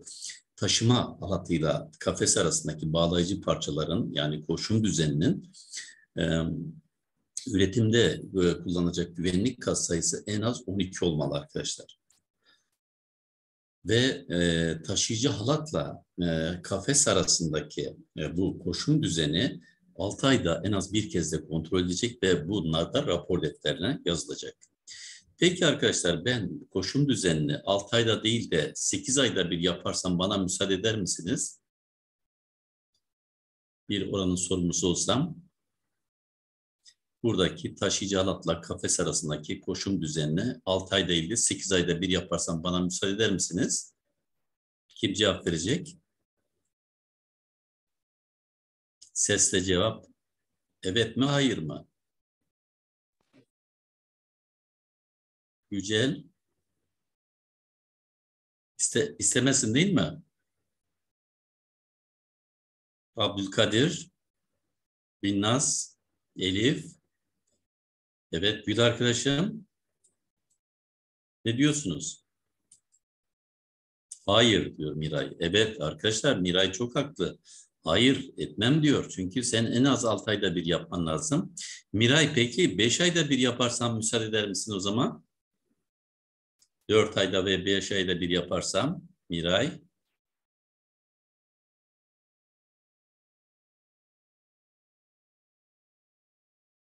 Miray 4-5 ayda bir yaparsam müsaade eder misin? Gülden evet var tamam. Anlaştık arkadaşlar. Konu belli oldu. Çünkü buradakiler asgari. Evet asgari. Ee, yani en az olanları e, çünkü bazıları hiç yapmıyor. Onun için buraya en az lafını koymaları gerekiyor ki üstündekiler yani işimize yarayan e, daha az sürede yapsınlar ama daha yüksek, e, daha çok olmasın. Evet, değerli arkadaşlar, şimdi geliyoruz madene varmak için ikinci önemli işlemimizde nakliyatımızın açtığımız boşluklarını tahkim etmemize bütün yeraltı işletmelerinde taş, toprak, kömür, cevher ve benzeri maddelerin kayma ve düşmelerini önlemek üzere uygun ve yeterli tahkimatın yapılmasını istiyoruz. Tahkimat planlara ve yazı talimatlara uygun olarak yapılır ve bu talimatlar sorumlu kişilerin rapor defterinde bulundurulur. Galerilerin sağlamlığı, e, dayanıklılığı açısından düzenli olarak kontrol edilir ve tahkimatın düzenli olarak yapılmasını istiyoruz arkadaşlar e, takimatın onarımı, değiştirilmesi, ileri alınması ve sökülme sırasında da gerekli güvenlik tedbirlerini almamız gerekiyor. Evet.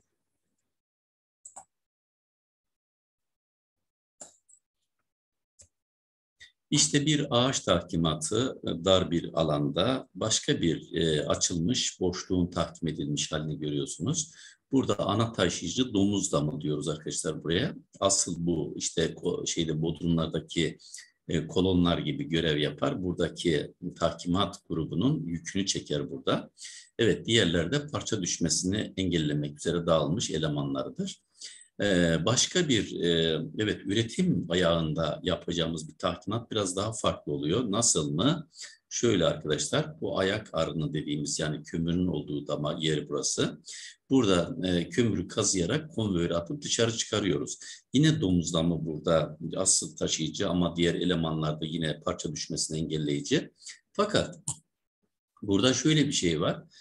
Ayak kısmında yani damar kısmında veya kömür kısmında sürekli üretik bir boşluk açılacak. Ve bu boşlukta da parça düşmelerini engellememiz gerekir. O zaman ne yapacağız? bu tahkimatı ileri almamız gerekiyor ama ileri alınca da arkada boşluk çıkacak. O boşluğu da işte yer kürenin doldurmasını istiyoruz arkadaşlar. Ayak arkasının çökertilmesi, göçertilmesi diye.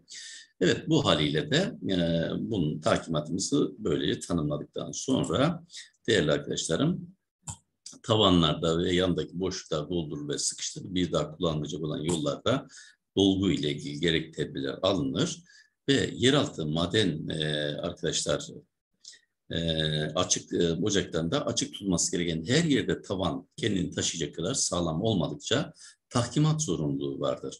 Tahkimat yapılması zorunlu olan ocaklarda ise aşağıdaki ayrıntılar kapsayan ilgili mevzuat hükümlerinde gözünde tutulduğu bir yönerge hazırlanır.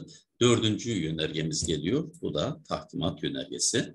Ocakta tahkimat gerektiren her kısımda ayak, taban ve benzeri tahkimattan sorumlu çalışanın belirlenmesi, tahkimatın yapılması sırasında çevre güvenliğinin alınması, çalışma yapılan her ayakta uygun nitelik, miktar ve ebatlarda tahkimat malzemesinin bulunması, çalışılan yerin özelliğine, jeolojik, tektonik yapısına ve fiziksel ve kimyasal özelliğine göre kademelere uygun tahkimat yapılması ile ilgili gerekli tedbirler, kendiliğinden yanmaya meyilli ve kriz olacaklarda tahkimat yapılması ile ilgili gerekli tedbirler, güvenli çalışmaya imkan verecek arın düzlükleri, ayak, baş ve dibi arasındaki hiza genişlikleri, ilgili tedbirler, tavan tahkimatının geri kazanılması ve ayak arkasının düşürülmesiyle ilgili hususların yer aldığı bir tahkimat yönergesi evet bizi bu konuda yönlendirir arkadaşlar.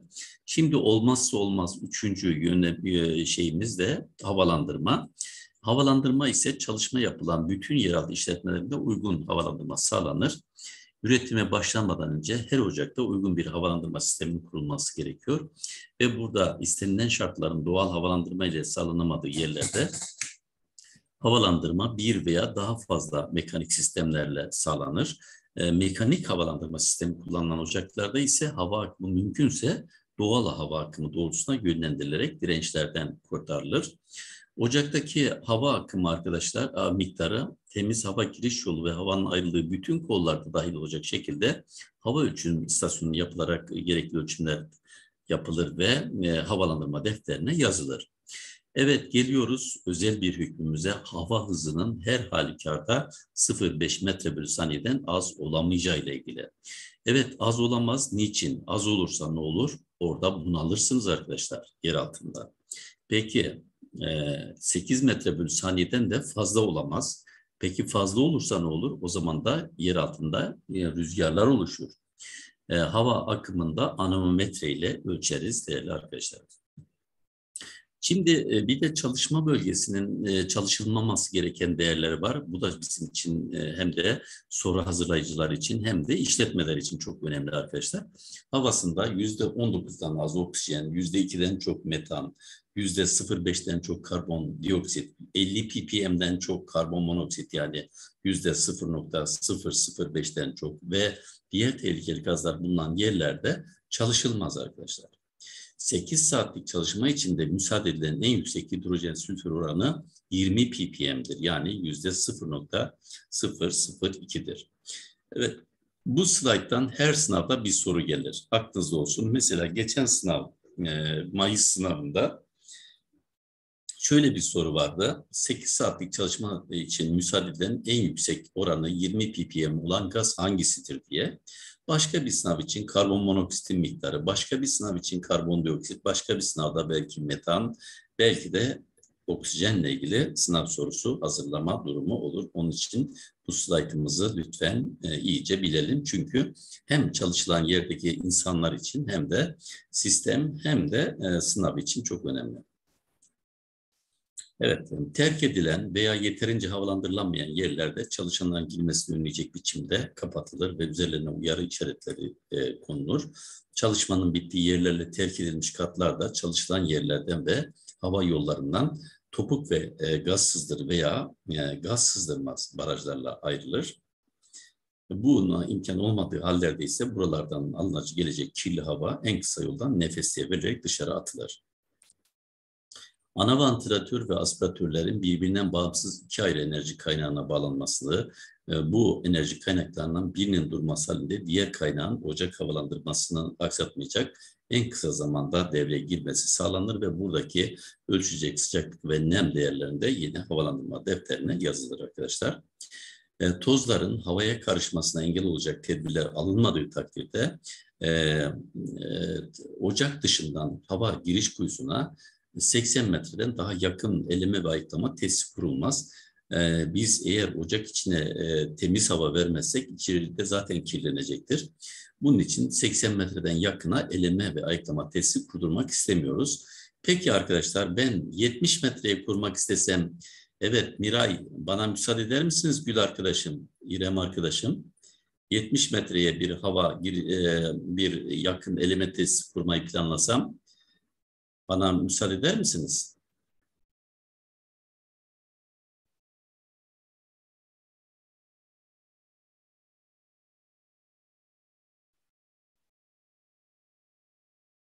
içeriye temiz hava girişine engellemek için bir yakın eleme ve ayıklama tesisi kuruyoruz ve bu tesisin içeriye temiz hava girmesine engel olmak istiyor olmak için biraz uzağa kurmamız gerekiyor. Tabii ki 70 metreye müsaade etmeyeceğinizi biliyorum arkadaşlar. Evet hava 80 metre e, en az 80 metre uzakta olması gerekiyor. Havalandırma ile ilgili e, ayrıntıları kapsayan ve ilgili mevzuat hükümleri doğrultusunda hazırlanan bir yönerge hazırlanır. Bu da bizim e, beşinci yönergemiz olarak karşımıza geliyor. Son yönergemiz. Bunların hepsi sağlık güvenlik dokümanda olması gerekiyor. Havalandırma sisteminin doğal ya da cebri olarak sağlandığına dair bilgiye, havalandırma planı hakkında bilgi, havalandırmayı etkileyebilecek durumlar, havalandırmanın yapılmadığı bölgeler, kimse girmesin diye hava ölçümlerinin kim tarafından hangi aralıklarla ve nerelerde yapılacağı, yapılacak gaz ölçümleri, ölçümler sonrasında alınacak tedbirlerle ilgili husustan yer aldığı bir yönerge hazırlanması gerekiyor. Evet geliyoruz arkadaşlar. Grizu nedir? Toz patlamaları nedir bu kısmımıza, alt başlığımıza. Grizu e, taş kömürleri gibi kara kömür madenlerinde ortaya çıkan yanıcı bir gazdır. E, burada e, hava içinde yüzde en alt limit yüzde beş, üst limit yüzde on beş oranında olacak şekilde metan oranının havayla karışmış olması burada büyük bir tehlike oluşturur ve bu yüzde beş ile on beş arasında herhangi bir noktada herhangi bir ısı kaynağıyla karşılaşması buradaki hava e, ortamı patlatmaya getirir arkadaşlar.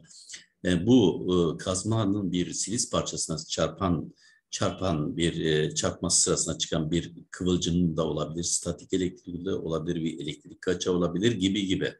Evet, bu aralık çok tehlikeli bir aralık ve hatta yüzde dokuz buçuğu en tehlikeli, e, en patlama elverişli oranıdır. Biz bunu bunu zaten metan ve oksijen e, gazlarının olduğu bir diyagramda gösterebiliyoruz. Burada x ekseni metana, y ekseni oksijene ait. Buradaki üçgenimizin arkadaşlar alt patlama limiti yüzde beş, üst patlama limiti yüzde on beş ve hava burun noktası yüzde dokuz buçuktur. İşte bu patlayıcı e, aradaki kırmızı zon patlayıcı karışım zonudur ve burada bu zon herhangi bir ısı kaynağı bekler. Evet.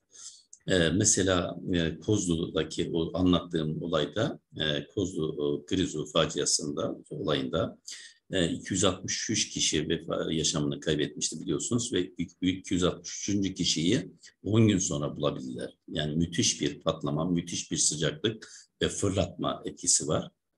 Peki diyeceksiniz, hocam bu kadar belirgin olan bir aralık var da biz buna nasıl engel olamıyoruz? İşte bununla ilgili yönetmeliğimiz bize der ki, Grizlu maden ocaklarında benim dediğimi yaparsanız hiçbir şey olmaz der. Ve başlıyoruz önlemlere. Yeraltı çalışmalarında yanıcı veya patlayıcı ortam oluşması riski meydana getiren yüksek miktardan metan gazı çıkma ihtimalinin olduğu yerler bir kere grizlu kabul etmemiz gerekiyor. Buna göre önlemlerimizi alacağız. Bacalar, e, bacalar yani maden içine sürülen galerler ani grizu boşalabilecek yönlerde e, ve veya e, grizu bulunabilecek eski çalışma yerlerine devam ettirildiği takdirde en az 25 metre boyunda kontrol sondajları yapacağız arkadaşlar. 25 metre boyunda kontrol sondajlar yapacağız. Bu kontrol sondajları deliklerinde grizü veya tehlikeli gazların varlığını anlarsak o zaman işi durduracağız. Çalışanlar söz konusu yeri terk edecekler, giriş yeri kapatılacak, durum yetkililere derhal haber verilerek gerekli çalışmaların yapılması sağlanacak. Evet bu bir maliyet unsuru olarak görülüp de yapılmazsa eğer arkadaşlar daha sonra kat kat işletmede ve çalışanın dünyasına zararlar verecek olaylarla karşılaşırız. Grizli ocaklarda havalandırma ile ilgili değerler her vardı ölçülür. Havada yüzde birden çok metan gazı tespitinde bu oran yüzde birin altına düşünceye kadar ölçümler aralıksız sürdürülür. E, merkezi 2015 yılında merkezi izleme sistemine bağlı sensörlerin de oksijen, metan, karbonmonoksit, hidrojen, sülfür sıcaklık ve hava hızı değerlerini ölçecek şekilde e, sayılar ve yerlerinin sağlık ve güvenlik dökümünde belirterek yerleştirilmesi istenilmiştir. Ancak bu sensörlerin asgari olarak yani en az olarak ocağın hava e, giriş yolunda, ana hava giriş yolunda üretim bölgelerinin her birinin temiz hava ve giriş ve hava dönüş yollarında e, hazırlık aşaması yapılan bölgelerin hava dönüş yollarında ve ocağın kirli havasının ocak dışına çıktığı nefesliklerde bulunmasını istiyoruz ve yine ölçümlerin e, yapılarak havalandırma defterine kaydedilmesi gerekiyor. Bütün grizli ocaklarında havalandırma planında tespit edilen istasyonlarında en geç 10 günde bir gerekli, evet 10 günde bir gerekli ölçümler yapılacaktır. Ocak'ta ayrıca da bakın bunun dışında da yeterli sayıda kalibre edilmiş seyyar gaz ölçümleri bulundurulur. Birbirinden ayrı noktalarda çalışan her ekipte de en az bir adet cihaz bulunur arkadaşlar. Bu cihazlar da metan, karbon monoksit, oksijen, hidrojen, sülfür gazlarını ölçecek özellikle olur. Bu ölçümlerde yine havalandırma e, defterine yazılması gerekiyor. Evet, e, aynı hava akımından yaralanan ayaklarda ve damar içindeki düz ve eğimli yollarda metan oranı yüzde bir buçuğu ve bunların bağlandığı e, hava dönüş yollarında da yine metan oranı yüzde biri geçemez. E, dikkat edersen sürekli biz metan gazını frenliyoruz arkadaşlar. E, 2015 yılındaki değişiklikle grizulu veya yangına elverişli kömür damarlarının bulunduğu ocaklarda oksijenli ferdi kurtarıcı ve biraz sonraki tabloda göstereceğim kaçış sürelerini yanlarında bulundurmaları istenildi çalışanlardan ve gerektiğinde kullanmaları istenildi. Evet bu ne anlama geliyor? Öncelikle oksijenli ferdi kurtarıcıyı herhangi bir zor durumda kaldığında e, oksijeni temin etmek için kullanacak ama bunların bir kapasitesi var tabii yarım saat veya bir saat. Bir de arkadaşlar e, bunların ocak e, yerinde duruma göre e, ölçülmüş, bilimsel olarak tespit edilmiş hızları var. Yani bir çalışanın dakikada herhangi bir yerde mesela 10 ile 20 eğimde bir galeride ancak dakikada 25 metre yol alabileceği e, ile ilgili bir bilgimiz var. 25 metreyi e, mesela yarım saat sürecek bir e, oksijen ferdi kurtarıcımız varsa 25'te 30'u çarptığı zaman ancak e, 750 metre ilerleyebilirsiniz. Bir e, yeryüzüne çıkmak için uzaklaşabilirsiniz ya da bir dolum testinden uzaklaşabilirsiniz gibi hesapların yapılabilmesi için hem e, buralarda hem de üretim e, noktalarında e, çalışanların kaç metre, dakikada kaç metre yol alacakları tablosu var. Ve bu tablonun da dediğim gibi oksijenli ferdi kurtarıcı kapasitesiyle çarpılarak ne kadar uzakta olmalarını gerektiren hesapları yapabilecekleri veya ona göre konumlanacaklarını söyleyebiliyoruz. Bütün grizli ocaklarda iki havalandırma grubu bulunur ve genel havasında e, metan oranı yüzde bir buçuk geçen yerlerde iletkenlerin ve elektrikli aygıtların gerilimi derhal kesilir ve şartlar düzelmedikçe de yeniden verilmez arkadaşlar. Grizulu maden ocaklarında da yalnız bu tür ocaklar için uygun olan patlayıcı maddeler ve ateşleyiciler kullanılır. Ateşleyici grizulu ocaklarda lağım deliklerini doldurmadan önce 25 metre yarı çapında bir alan içinde e, ölçümler yapar ve bu ölçümlerde yüzde bir ve daha yüksek oranda metan tespit ederse lağımları doldurmaz. Yani boş lağımları doldurmuyor. Ateşleyici lağımların doldurulmasından sonra ve ateşlemeden önce de yine ölçümleri tekrarlar. Metan oranı yüzde birin altındaysa lağımları ateşler. Üstündeyse yine ateşlemez değerli arkadaşlar. Kömür tozu bulunan veya kömür tozu oluşabilecek kömür damarlarının bulunduğu ocaklarda ateşleyecek yerlerde dağım deliklere doldurmadan önce evet taş tozu serpilerek ve sulama gibi koruyucu tedbirleri alınarak patlama riskine karşı önlemler alınır e, havalandırma sistemi de acil hallerde ve ihtiyaç halinde kullanılabilmesi için de hava yönünü ters çevirebilecek özellikle olmasını isteriz. Şimdi Grizu'dan sonra geliyoruz yanıcı toz bulunan maden ocaklarına. Açılan bütün maden damarlarında oluşabilecek tozun patlamanın yayılmasına neden olmayacağı sağlık güvenlik dokümanda belirtilmedikçe kömür madenleri yanıcı toz bulunan maden ocakları olarak kabul edilirler.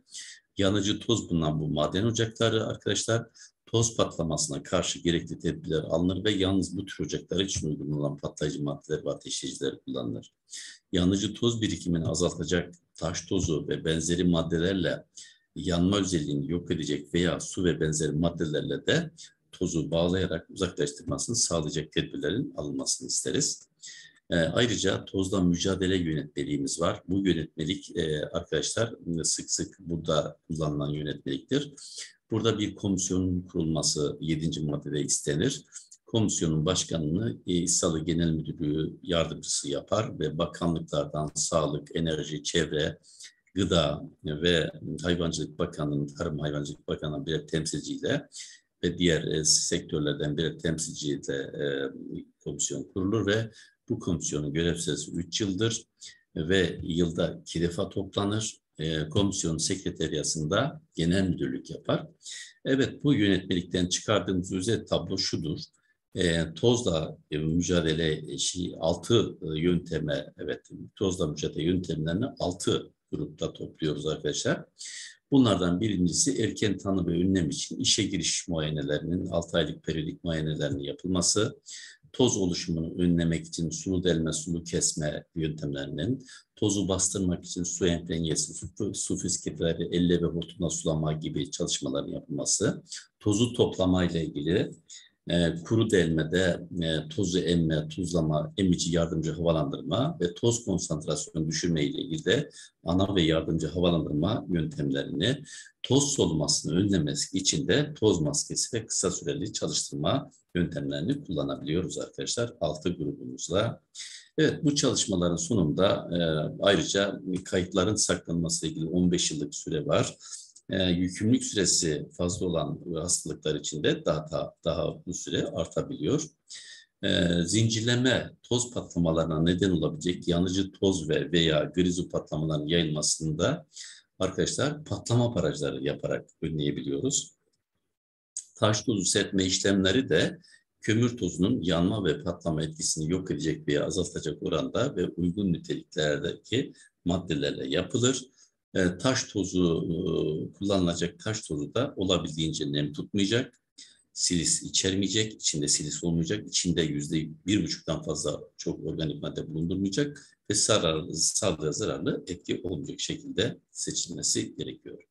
Evet, iki toz patlaması görselimiz var. Tabii bunlar grizu gibi değil, lokal bir patlamalardır.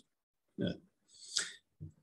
Ee, ani gaz geliri veya göçük veya su baskını ihtimali olan e, bölgelerde de çalışanların yine korunması ve güvenli bir çalışma ortamı sağlanması için e, yürütecek faaliyetler sağlık güvenlik dokümanında yine belirtilerek planlanır ve uygulanır arkadaşlar. Evet. Ee, özellikle yeraltı köprü ocaklarında gaz ligaj riskleri çok fazla. Evet varsa bu riske karşılıkta alınacak tedbirler yine 25 e, metrelik kontrol sondajları ile ilgili.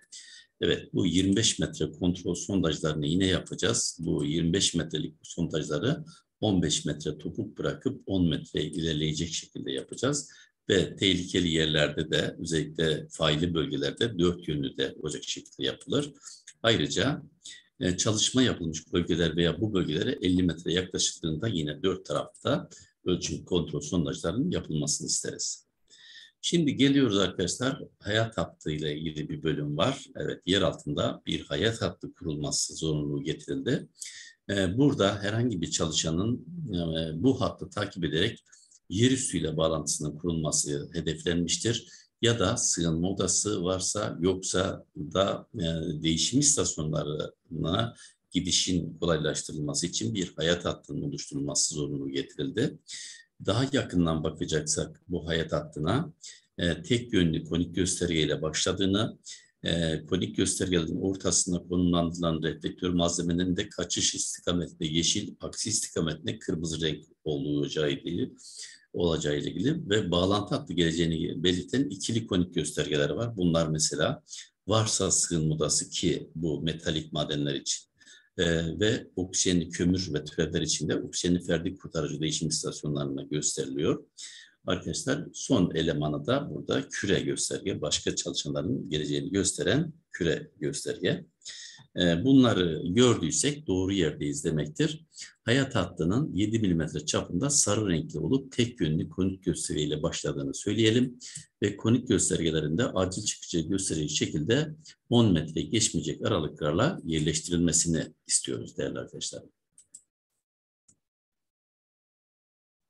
Hayat hattının e, oksijenli ferti kurtarıcı değişim veya dolum istasyonlarının bulunduğu güzergahta yer alması esastır.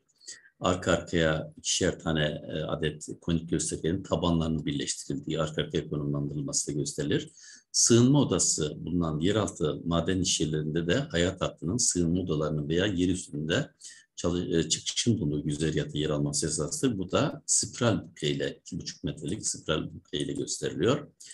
Yani kömür ve türevleri hariç, bakınız burası önemli, hariç olmak üzere yeraltı maden iş yerlerine acil durumlarda kullanmak amacıyla sığınma odaları istenilmektedir. E, acil durum maskeleriyle ilgili bir görselim vardı. Bakınız iki tipi var. Drager Oxy 3000 de 6000 diye. 3000 olan 30 dakika ve 6000 olan da 60 dakika yetecek kadar e, solunum e, kullanım süresi var. Bunların giyimiyle ilgili de arkadaşlar şurada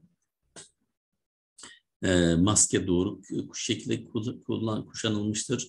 Evet, kaçış yönüne hareket ediniz. Burada gözler kapalı, burun delikleri kapalı, ağız direkt torbaya, torbada vücuda askı durumunda. Evet, bu kurtarıcıların e, sayıslarıyla ilgili özel bir durum, evet sayıları vardı arkadaşlar. Burada işverenin bu istasyonlarda bulunacak donanım sayısı ve ekipmanına acil durumlarda o istasyondan yararlanması beklenen çalışan sayısının en az yüzde on fazlası olacak şekilde belirler. Mesela 20 çalışanı varsa o işletme e, bu istasyonlarına e, evet bu değişim yerlerinde 10 tane değil, e, 20 tanesi 22 tane bulunmak zorunda. Yani yüzde 10 fazlası olması zorunda ama 23 tane olsun 24 tane olsun ama 21 taneyi kabul etmiyoruz değerli arkadaşlar. Evet, geliyoruz sığınma odalarına. Son günlerde bundan da çok sık soru gelmeye başladı. Evet, yeraltı maden işyerlerinde kuracak sığınma odaları hakkındaki tebliğ var. Bu tebliğ 2017 yılında yayınlandı. Yeraltı metal maden işyerlerini kapsıyor arkadaşlar. Ve burada işverenin sığınma odası kurma yükümlülüğünü ne e, şöyle tarif ediyor. Çalışma alanlarına olan uzaklığı en fazla 700 metre olacak şekilde kurar ve inşa eder denilir. Evet 700 metrelik şeyi unutmamanız için ben mesela 600 metreye kurabilirim. Ama 800 metreye kuramam arkadaşlar. 700 metre çünkü en fazla uzaklaşacağımız uzaklık 700 metre. Ama e, değerlendirme yaparak e, e, bu muhtemel acil durum senaryolarında bunların sayılarını azaltabilirsiniz veya sığınma odalarının sayılarını artırabilirsiniz. Ama 700 metreyi geçmemek koşuluyla. İşverenin yükümlülükleri var bu konuda arkadaşlar. Özellikle sabit sığınma odalarının kayaç içerisinde, taşınabilir sığınma odalarının güvenli bölgelere kurulması ile ilgili. Muhtemel acil durum senaryolarının dikkate alınarak özellikle vardiyadaki çalışan sayısı, madenin türü, sığınma odasının kapasitesi, e, madenin jeolojik yapısı, makine ve ekipmanların sayısı gibi e, sadece doğal havalandırma e, olan maden işyerlerinde yaz ve kış mevsimlerinde temiz hava yönü değişiklik gösterebileceği e, hususlara dikkat alarak muhtemel acil durum senaryolarının oluşturulmasını istiyoruz.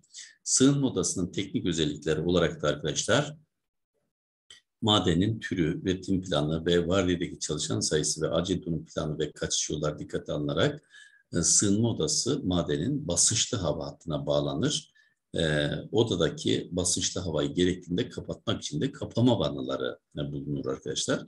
En az 36 saat yetebilecek solunabilir hava bulunmasını istiyoruz. En az 36 saat yetecek kadar yeter yedek enerji kaynağının olmasını istiyoruz odalarda. Ve odaların en az 5 ppc'lik patlama basıncına dayanıklı olacak şekilde inşa kurulmasını istiyoruz. Ve sızdırmaz yapıda olması, termal konfor şartlarına uygun olması, e, ve arkadaşlar e, sığınma odası ve yerüstü arasında görsel ve veya sesli iletişim kurulmasının sağlanmasına, e, e, kirli havanın oda atmosferine sızmaması için pozitif basınç sisteminde donatılmasına, e, sistemi olmasına, e, sığınma odası ve sığınma odasının bütün elemanlarının da yanmaz malzemeden yapılması teknik özellikler olarak istenilmektedir. Sığınma odasının kontrol ve bakımının en geç 6 ayda bir gerçekleştirileceğini ve bir kurulum belgesi düzenleneceğini ve kullanım kılavuzundan yararlanmamız gerektiğini ve e, çalışanların eğitimle ilgili de en az 6 ayda bir e, eğitim yapılması ve e, söz konusu eğitimlerin birincisinin sığınma odalarının kurulumu e, sırasında üretici ya da kurulumu yapan firma tarafından diğer eğitimlerin ise 6 ayda bir işverence e, belirlenen yetkili kişiler tarafından yapılmasını istiyoruz. Evet, yeraltı madenlerde çalışan işçilerin de çalışma süreleri günde en fazla 7,5 saat, haftada da en fazla 37,5 sağlık kuralları bakımından azam 7,5 saat çalıştırması gereken işler hakkındaki yönetmelik nedeniyle böyle bir kararımız var.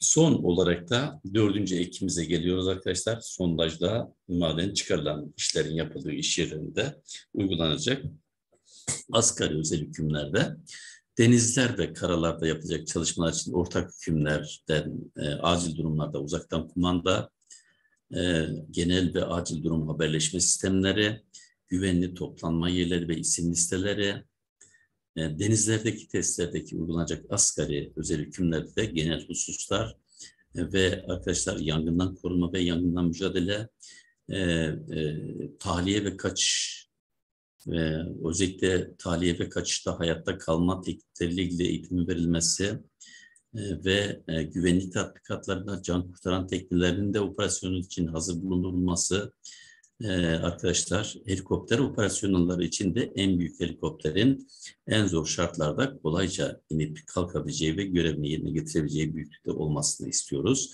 Ayrıca, yeterli sayıda uygun eğitimli destek elemanının da helikopter pistinde hazır bulundurulması önemli.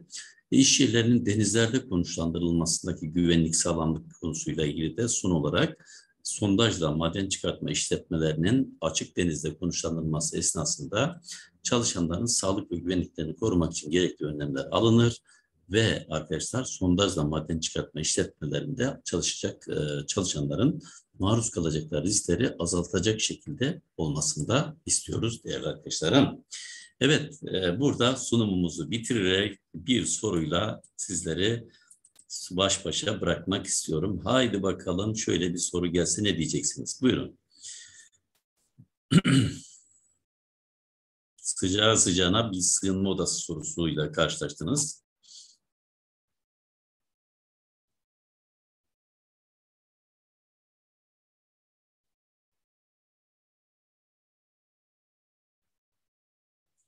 Bunu bilene ödül arabamız devam ediyor. Arabalar kırla gitsin arkadaşlar. Herkes arabalansın. Benzin pahalı, vergiler pahalı. evet.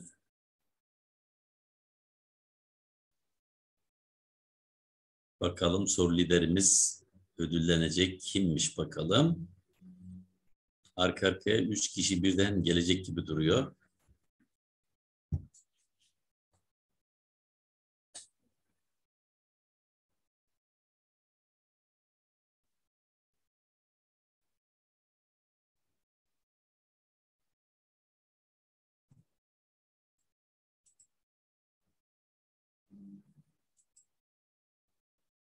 Yücel yok mu? Yücel neredesin? O zaman ben cevap vereceğim. Bu kadar sessiz kalınca Gül, Gül arkadaşım neredesin? Ha. Evet zorla ilk cevap aldık. Tuğba sürpriz yaptı C dedi. Evet Tuğba merhaba. Tuğba durdu durdu turna gözünden vurdu derler ya. Evet C şıkkı. Aferin Tuğba. Nereden bildin Tuğba? Nerede hata var burada? Miray Ev, harika. Evet Tuğba onu da söylüyor. 36 diyor. Miray ben de söylüyorum hocam dedi. Evet arkadaşlar teşekkür ederim. Şimdi şöyle yapalım. E, şöyle yapalım. Sorularımızı daha sonra e, evet şöyle yapalım. Şöyle bir bakalım neler yapmışız bu kadar gevezelikten sonra. Arkadaşlar dersimiz maden iş yerinde iş sağlığı güvenliğiydi. Amacımız da e, maden iş yerlerinde yapılan çalışmalarda ortaya çıkabilecek riskler ve bunlara karşı alınması gereken önlemlere yardımcı olmaktı. Yeraltı ve yerüstü ve sondajla yapılan madencilik çalışmalarında ilgili riskleri veya alınması gereken tedbirleri söyledik. Alt başlıklarımızda da yeraltı ve yerüstü maden işletmeleri, sondajda maden çıkaran işletmeler, yerüstü madenlerde çalışmalar, maden işletmelerinde kullanılan makinelerin özellikleri, tozla mücadele, madenlerde havalandırma, grizotoz patlamaları, delme patlatmalar, madenlerde göçükler, toprak kayması, su baskınları ilgili mevzuatı arkadaşlarıma sunmaya çalıştım. Kusuruma bakmayın. Elbette ki konu zenginliği nedeniyle sizlere fırsatım olmadı. Sık sık e, merhaba deme şansı bile bulamadım. Dolayısıyla ben burada sunumumu bitiriyorum. Hepinize kolaylıklar diliyorum. Beni dinlediğiniz için uzun bir sabrınızdan dolayı da ayrıca teşekkür ediyorum. Hadi bakalım arkadaşlar. Allah'a ısmarladık. Kendinize iyi bakın. İyi